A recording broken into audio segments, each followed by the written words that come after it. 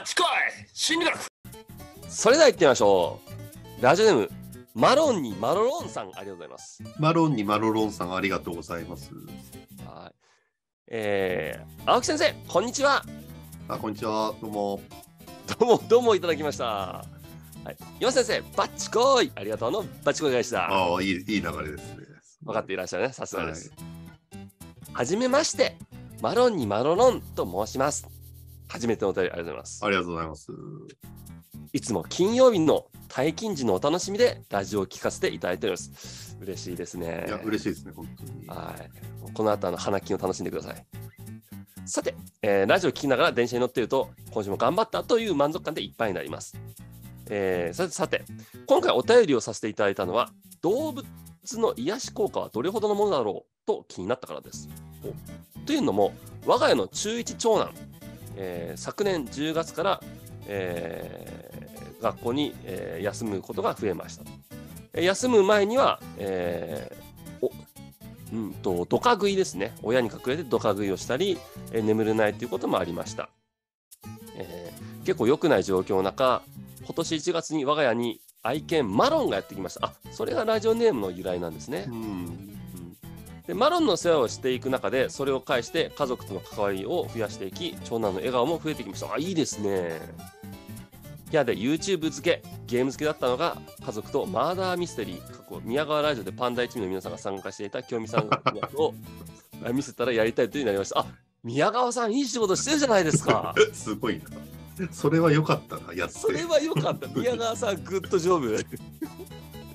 ただ、あれ、5時間あったよね。やりましょう。岩野さんは参加してないですけど。はい、あの岩野はバチコにされたっていうのはバチコの使い方にちょっとなんか新しい使用用途が増えましたっていうね。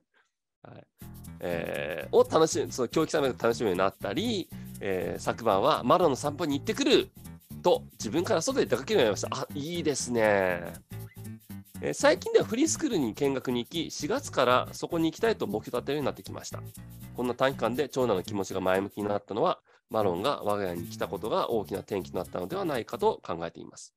長々と書いてしまいましたが、動物による癒しの効果、我が家では効果ありと思っているのですが、心理学的にはどのような意味があり、効果は認められているのでしょうか教えていただけたら嬉しいです。これからも先生方のご活躍楽しみにしています。どうぞご自愛ください。というお便りです。ありがとうございます。送っていただいて。い素敵なお便りですね。い本当ですね。はマロン、グッジョブ、そして宮川さん、グッジョブ。い。そうですね。マロンと宮川さんが並列関係にあるっていう、なんとも珍しい環環環境ですね。そうですね。であのーまあ、動物のね癒し効果についてですけれど、まあ、結構ありますよね。ああ、そうなんですね。でもこれね、えーっと調べたことあるんです私。うん。うんでアニマルセラピーとうん動物介在活動っていう2種類あるんですよ。はいはいはいはい。でちゃんと定義があってアニマルセラピーの場合はちゃんとねハンドラーって言われるその飼育員がちゃんと調教して例えば噛んだり引っかいたりするでしょ？うん。あと感染症とかもあるからうん。そういうのをちゃんと管理した上で、えーすなんか参加者に危害を加えないような動物。うん。例えばクマとかオオカミダメね。ああ、ダメ。じゃあ、もしかしてライライオンもですか？ライオンもダメダメ。ダメか、ライオン。うん、なんかねちゃんとあるの。その牧畜化していい動物ってね18種類ぐらいだったかな？いるんだけど馬ネズん？馬、えー猫犬、えーロバ、えーウサギ？とか何種類かいるんですよ。もしかしてあれですか？レッサーパンダは？レッサーパンダは覚えてない。私、レッサーパンダが一番好きなんですけど、もしかしてダメか、それ。わかなんかね条件があって複数のそのなんだろう他の種族がいても落ち着けるだとかその群れで行動して序列があるだとかってあるんだよ。あ、そっか、じゃあペンギンダメか、したら。ペンギンがペンギンがちょっとダメか、ペンギンダメか。うん、で一番そのヒットに出てくるのがやっぱり犬とか馬なんだけど、そうですね。うんっていうのの、えーそれがアニマルセラピーなんだけど、うん。ただ単純に動物と一緒に過ごすっていうのは動物介在活動って言って、うん。あのーまあ、それは動物園に行くとかねはいはいはい。インコを飼うだとかそういうのなんですよ。あ、それは、あれですね、レッサーパンダもペンギンも OK です。それは OK だと思う。なるほど。あ、よかったよかっどんだけ好きだよレッサーパンダ。た。レッサーパンダ好きですよ、私。俺ちょっとレッサーパンダっぽい格好してんじゃないか今日。いや、ちょっと見たくないわ、マジで。はい、あ青いや、もうちょっと、もう見たくない。動物非介在介在活動にしてほしいです。今の非介在活動じゃないかそれ。で？あそれでなんかね俺は若い人のやつは分かんないんだけど高齢者の、えー認知症とかのデータを見てるとエビデンスは、ね、ない、あ、そうなんですね。うん少なくとも認知症の進行は遅らせられない、うんまあ、当たり前なんだけどうん。で、えー QOL に関してはエビデンスレベルがね確かに2か3だからえーっともうちょっと調べないとわからないっていう感じあ、そうなんですね。ただね否定はされてないっていううーん。っていう感じなんですよなるほど、なるほど。でこのマロン犬だからうん。多分、まあ、そういうねその効果あるんですかに関してはあるとは言えないけどないとも言えないっていう感じあ、そうなんですね。でうん。うん。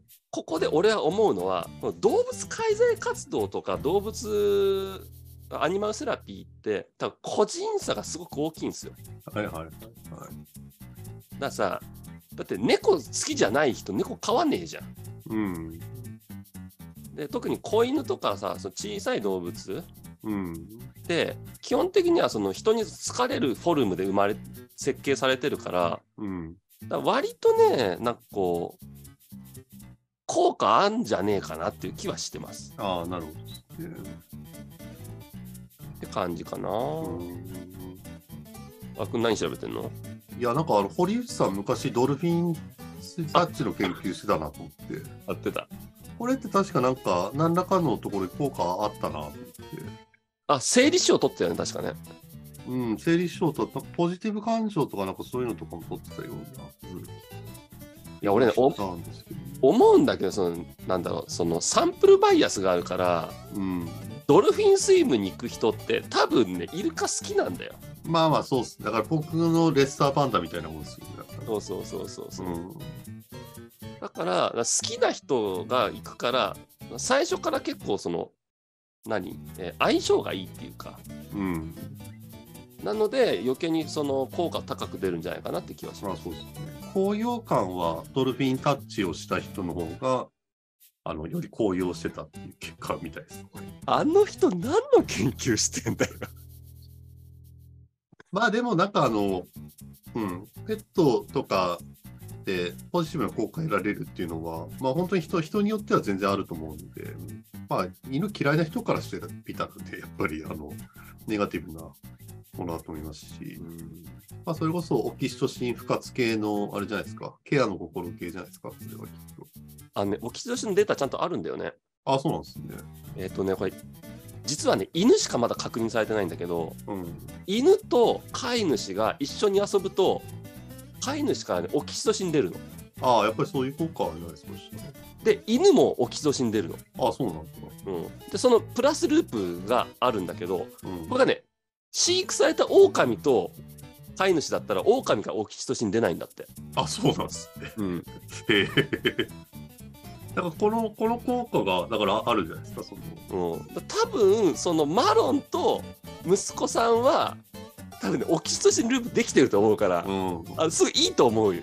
それでちょっとこう幸福な気持ちになれてるみたいな、うんある可能性もありそうですね。あちゃんとデータでで整理データが出てきてますから、はい、多分犬はかなりいけると思います。バッチコイ心理学、はい、今日も YouTube 動画ご視聴ありがとうございます。